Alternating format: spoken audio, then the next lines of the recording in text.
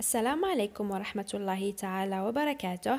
مرحبا بكم في هذا الفيديو. رايحين نحلو مع بعض ونشرحوا دروس وتمارين الصفحة 114 للسنة الثالثة متوسط من الوحدة الرابعة اللي هي Me and My Environment. نتمنى إن شاء الله هذا الفيديو مع الشرح تفيدكم. إذا نبدأ على بركة الله في الصفحة 114 بسم الله. I work with my partner and match each of the two words I heard in the text part 1 with its corresponding definition from Cambridge Dictionary.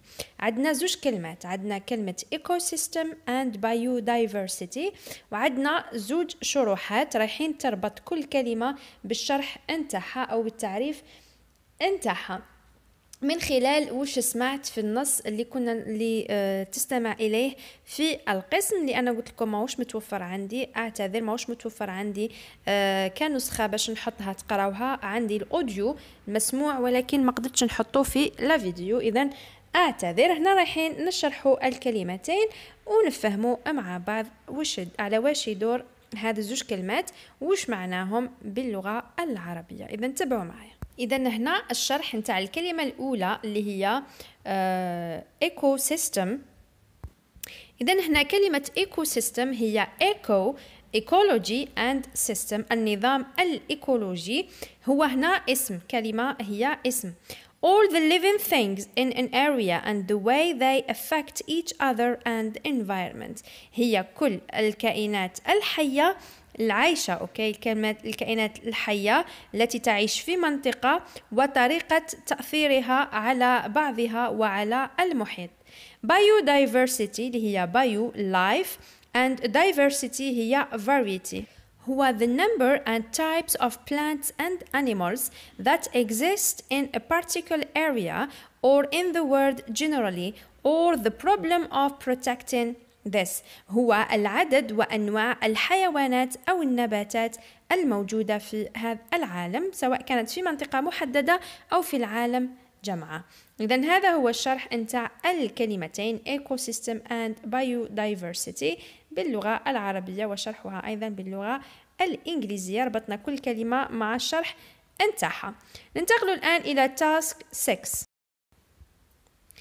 إذا I listen to the UNESCO representative part 2 هنا رايحين تستمعوا إلى النص الثاني and write down on the map عندنا خريطة الجزائر رايحين نكتبوا uh, تحتها okay the number corresponding to the name of each Algeria National Park and here I hear and the name of the nearest town. The first answer is given. هنا رايحين تكتبوا آه تستمعوا وتكتبوا للتسمية آه تاع الحظائر والتسمية تاع الولاية اللي يخ... يسكو اللي يقع فيها تلك الحظيرة. إذا نشوفوا معايا نشرحوا هنا ونحلوا مباشرة باش ما نطولوش في الفيديو. إذا شوفوا معايا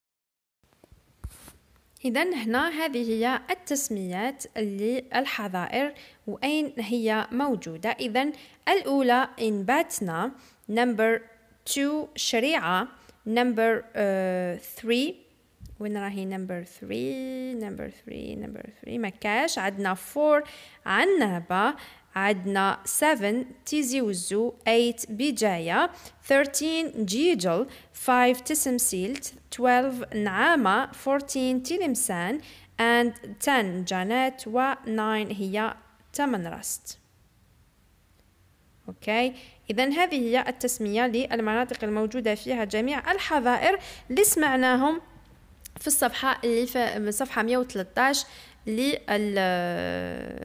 لتسميات الحظائر الموجودة الوطنية الموجودة في الجزائر. إذا هذا هو الحل. نتمنى إن شاء الله هذا الفيديو تفيدكم وتستفادون تلاقوا في مواضيع أخرى إن شاء الله.